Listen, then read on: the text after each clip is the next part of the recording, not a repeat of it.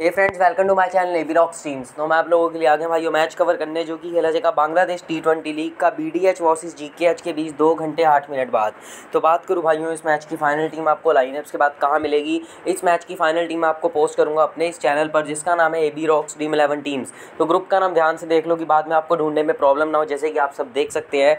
तो बढ़ते आगे, ये है प्रीवियस मैचेस के कुछ स्क्रीन जो रात को क्लीन स्विप लगी थी हमारी फुटबॉल में। और अभी भी अभी मैंने सुबह सुबह पोस्ट की है एक बास्केटबॉल की टीम और आज मैं शेड्यूल दूँगा, आज मैं ना एक आधा मैच छोड़ूँगा मतलब मेरे को पता है, क्योंकि मेरे को थोड़ा वर्क है दोस्तों तो आई शेल ये वाला मैच मैं आपको दे सकूँ। अगर इसकी टीम में ना दे पाया तो दोस्तों, आपने यही टीम लगानी है जो मैं आपको यहाँ दे रहा हूँ यूट्यूब पर तो चलते हैं आगे। बात करूँ विकेट कीपर की तो एम रहीम एम रहीम दोस्तों टॉप ऑर्डर का बैट्समैन और अपनी टीम का ओपनर मतलब टॉप ऑर्डर का मतलब होता है वन डाउन आना या टू डाउन आना मैक्सिमम तो ये बंदा तो ओपनर आता है तो ये तो बात ही अलग हो गई। मतलब ये टॉप ऑर्डर का बैट्समैन है।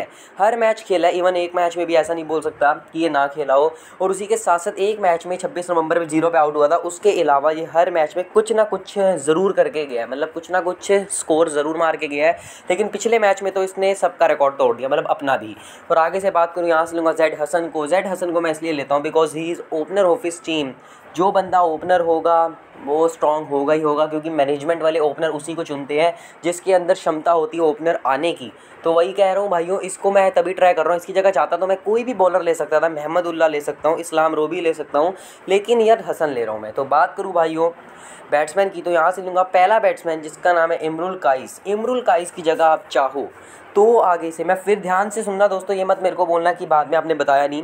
इमरुल काहिस एक लेट ऑर्डर बैट्समैन तो नहीं कह सकते मिडल ऑर्डर हो गया। पहले टॉप ऑर्डर का था लेकिन जब से एक बैट्समैन इनके अंदर आया ना, जैसे कि जेड हसन हो गया एम मुर्तज़ा हो गया तो ये उनके बाद आएगा। तो इमरल कायूस की जगह आप ले सकते हो। महमदुल्ला की बॉलिंग बहुत ज़बरदस्त है, आप इसको ट्राई कर सकते हो। यार, इस्लाम रोबी को ये भी चार ओवर बॉलिंग डालता है। मैं फिर कह रहा हूँ, अगर आपको सेफ़ जाना है तो महमदुल्ला के साथ जाना इमरुल काइस को मत लेना, और अगर रिस्क लेना है then go with Imrul Kayes मैं फिर कह रहा हूँ दोस्तों, और आगे से बात करूँ वाई अली चौधरी की। वाई अली चौधरी तो सबका फेवरेट हो गया बैट्समैन मिडल ऑर्डर बैट्समैन है, लेकिन बैटिंग में जोरदार पावर भी देखी है मैं। और जे इस्लाम की बात करूँ जे इस्लाम ओपनर ऑफ़ इस टीम सारे मैचेस खेला है, लेकिन देखा जाए तो ऑल ओवर रेशियो उसका फिफ्टी परसेंट है मतलब fifty to sixty percent match में रॉकिंग करता ही करता है। और एस home is a he is a bowler जिसको मैं हर बार बॉलिंग के तौर पर लेता हूँ, इसकी बॉलिंग बहुत अच्छी लगती है मेरे को दोस्तों, सच्ची में। बॉलिंग बहुत ज़बरदस्त है इसकी। और आगे से बात करूँ ऑलराउंडर की शाकिब अल हसन।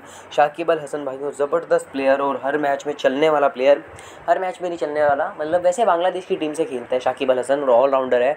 और मतलब देखा जाए तो हर मैच में तीन तीन चार चार विकेट लेता है। और जो बंदा इंटरनेशनल लेवल लीग में खेल चुका है, उसके लिए ये लीग कुछ नहीं है। फिर आगे से बात करूँ एम अली की, मेरे को मुख्तर अली की बॉलिंग सही लगती है बैटिंग बिल्कुल बेकार है इस प्लेयर की।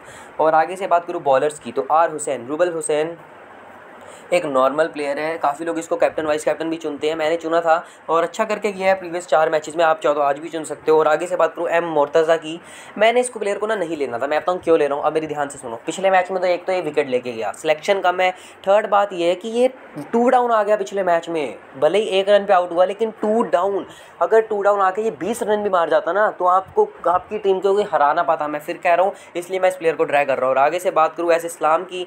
ऐसे इस्लाम की बॉलिंग ज़बरदस्त है। अगर ये वाला इस्लाम इस्लाम खेला तो इसको ज़रूर लेना। एक ऐसी इस्लाम है, इस टीम का जी के एच का। ये पिछला मैच नहीं खेला था, इसकी जगह खेला था मुर्तज़ा। अगर ये खेलता है दैन इसको ट्राई ज़रूर करना। तो अब ये है थोड़ी रिस्की टीम आप देख सकते हैं, इसका स्क्रीनशॉट ले लो। जो लोग रिस्क लेना पसंद करते हैं, उनके लिए है। और जो लोग सेफ़ जाना पसंद करते हैं, उनके लिए मैं दे रहा हूँ ये वाली टीम जो कि भाइयों, वो इसके साथ खेल सकते हैं। ये है सेफ़ टीम तो मिलता हूँ दोस्तों अगली वीडियो में। अभी के लिए बाय अपना ख्याल रखें। मिलते हैं अगली वीडियो में।